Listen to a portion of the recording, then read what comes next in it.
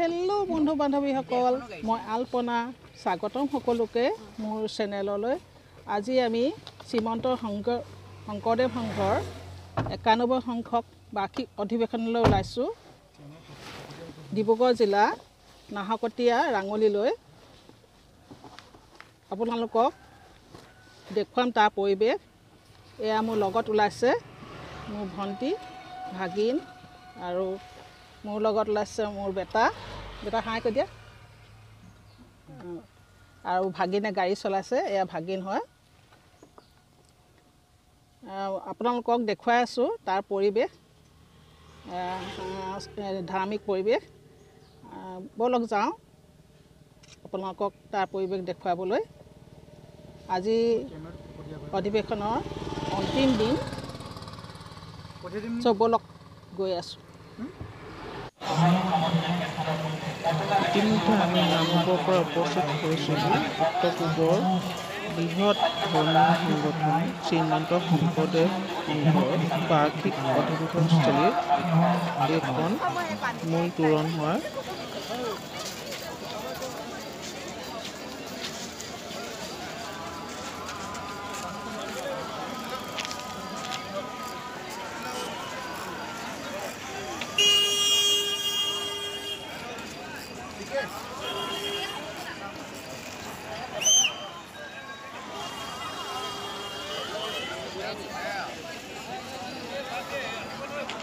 মানে বাকীখিনি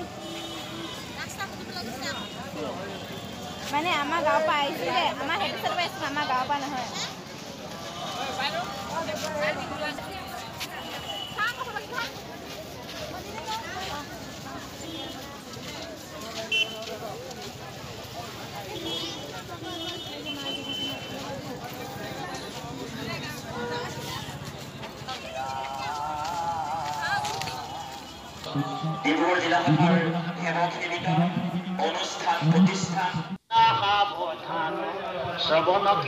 এয়া অস্থায়ী নামঘৰ য'ত ভাগৱত প্ৰতিষ্ঠা কৰা হৈছে।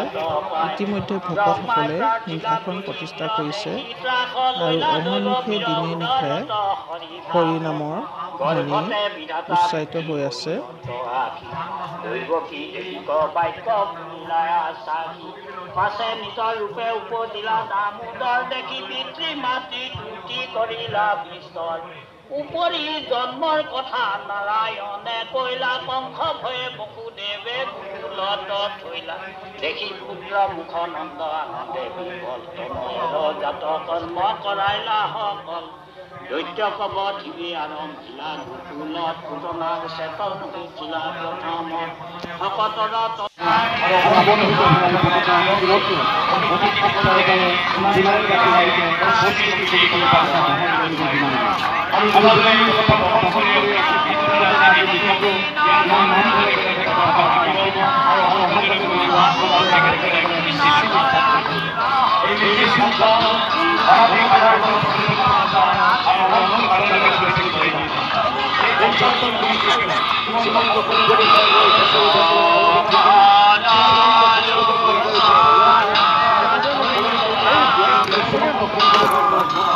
取ること、片を折るべきの青っぽさ、南方的や外情、見取ることある寂し。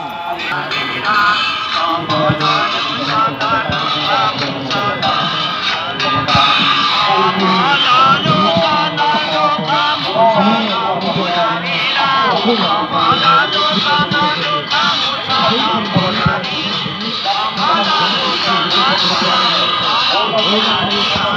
হৰি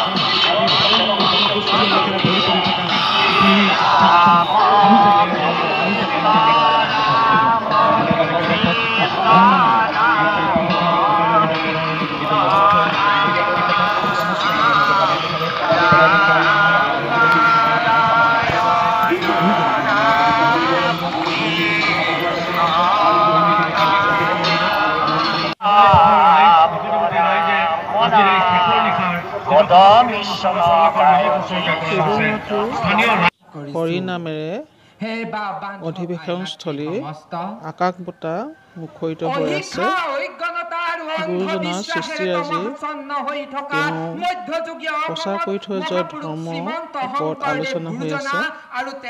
এয়া মূল মণ্ডপ ধৰ্মীয় আলোচনাৰ লগতে সাংস্কৃতিক বিষয়ে চৰ্চা হৈ আছে। ইয়াত কেনেধৰণে বিধৌত কৰিছিল আৰু সেই সমাজ জীৱনে কেনেধৰণৰ নতুনত্ব লাভ কৰিছিল সেই বিষয়ে আপোনালোক সদৌতি জ্ঞাত মহাপুৰুষ শ্ৰীমন্ত শংকৰদেৱ গুৰুজনাই নিৰ্মাণ কৰা সেই ভেটিত অসমীয়া জাতীয় সত্তা কেনেধৰণে প্ৰতিস্থাপিত হৈছিল সেই বিষয়েও আপোনালোক জ্ঞাত। আপোনালোক মহামহন্তৰ সন্মুখত আমাৰ দৰে তেনেই নগণ্য এগৰাকী ব্যক্তিয়ে মহাপুৰুষ শ্ৰীমন্ত শংকৰদেৱ গুৰুজনাৰ জীৱন দৰ্শন বিশ্লেষণ কৰিবলৈ যোৱাটো তেনেই লাজৰ বিষয় হ'ব। গতিকে হে বাপ বান্ধৱ আই মাতৃ সমস্ত অসমত যি শংকৰদেৱ আন্দোলনৰ সৃষ্টি হৈছিল।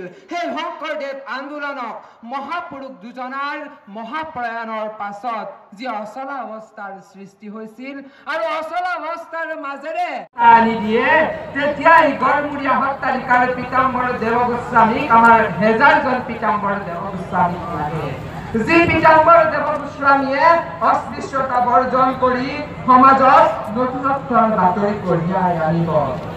বান্ধৱ আয়োগী সমস্ত যেতিয়াই নেকি আমাৰ মাজত কৰিব বিচাৰে জাতি কৰিব বিচাৰে, তেতিয়াই হেৰুৱাই পেলালে।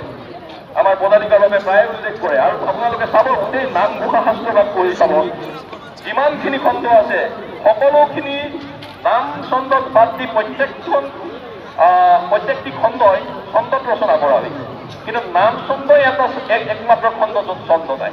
অথচ সেই ছন্দত থকা খণ্ডটোৰ নামেই হৈছে নাম ছন্দ ইয়াৰ অৰ্থটো এনে